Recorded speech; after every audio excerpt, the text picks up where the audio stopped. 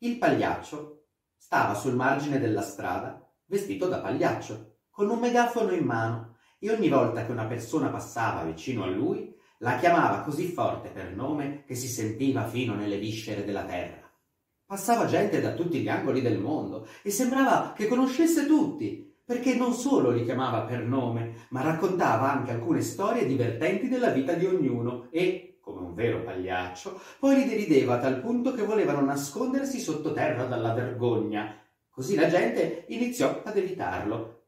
Non passava più su quella strada e il pagliaccio stava solo dalla mattina fino alla sera tardi con il megafono in mano ma non gridava più nulla, si consumava per la solitudine.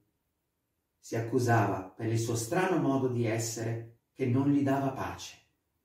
Pregava che passasse almeno una sola persona e giurava in cuor suo che non l'avrebbe derisa per nulla, anzi sarebbe stato addirittura il suo migliore amico. E, come se la sua preghiera fosse stata ascoltata, gli apparve di fronte un uomo ordinario, vestito ordinariamente, e il pagliaccio, senza pensarci due volte, portò, per via della sua vecchia abitudine, il megafono alla bocca e iniziò a fare il suo numero.